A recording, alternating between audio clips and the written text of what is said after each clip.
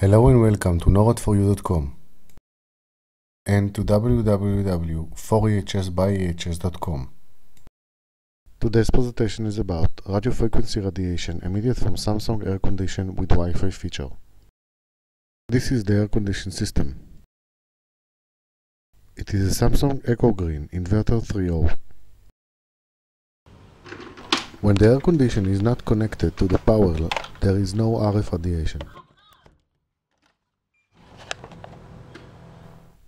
When it is plugged in, as it usually is, the AC starts to emit radio frequency radiation.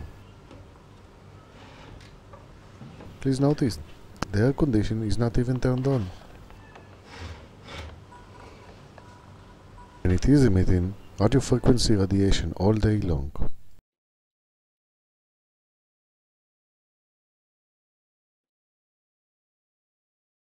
Samsung will probably say that the levels are lower than the safety standard.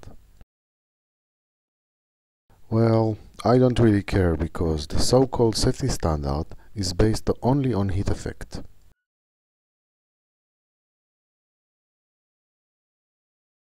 Because lots of studies show other biological and health effects at much lower levels than the standard level. And because these low levels make me sick.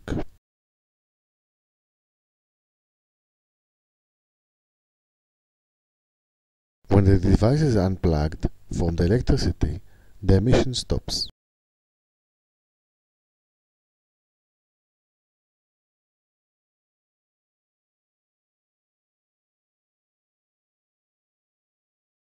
It is not just air conditions and not just Samsung. Lots of today electric and electronic devices emit RF radiation for their smart communication capabilities. If you are an EHS person, or if you want to keep clear of RF radiation, use an RF meter to make sure your electronic and electric devices are not emitting radio frequency radiation. Before buying a new device, make sure it is not wireless and that it does not emit any radio frequency radiation. Thanks for watching and see you next time.